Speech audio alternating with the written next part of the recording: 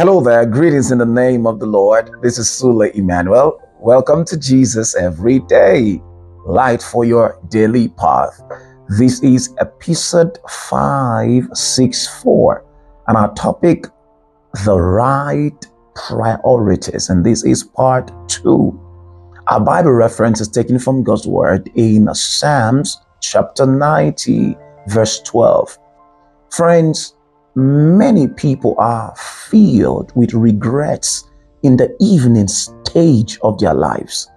Just so we know, our lives are divided into four seasons or four stages the morning season, the afternoon season, the evening season, and the night season. Now, there is a season of self discovery, self awareness, and finding what truly matters. There is the season of pursuing your dreams, the season of activation, the season of achieving your goals, the season of maximizing your strength.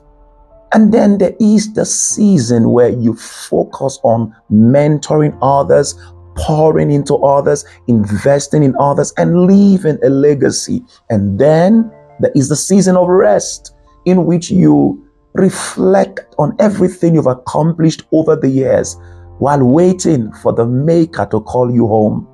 Friends, we must live consciously, understanding the opportunities and the demands of each season and making the most of them. If we fail to maximize the morning and the afternoon seasons of our lives on the things that truly count, we just may spend the evening stage of our lives in regret. I pray that this will not be our portion in Jesus' name. Here is our task for today. Reflect on your top three commitments to staying healthy. Reflect on your top three commitments to staying healthy.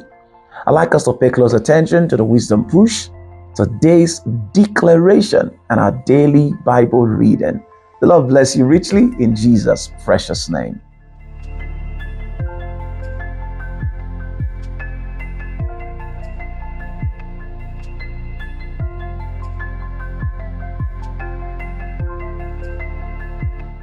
Hi there.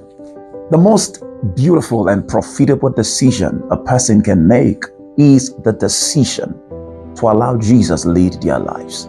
This decision is what we make when we open our hearts to Jesus, we don't just give him our lives, we receive his life. Maybe as you hear me right now, you have not made this beautiful decision yet. You haven't said yes to Jesus. Today is an amazing day to do this.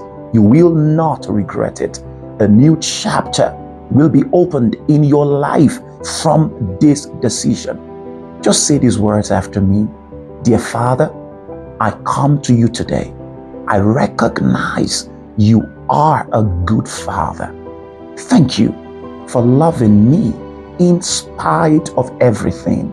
Today, I respond to your love. I receive your life. And I ask that you become King and Lord of my heart. From today, I will serve and live for you. Thank you, Lord Jesus. Congratulations, you have made the most important decision of your life. Now, if you need help to grow in your relationship with Jesus, please send an email to the address on the screen, and we will be more than happy to assist you. God bless you. Have a great day, Father.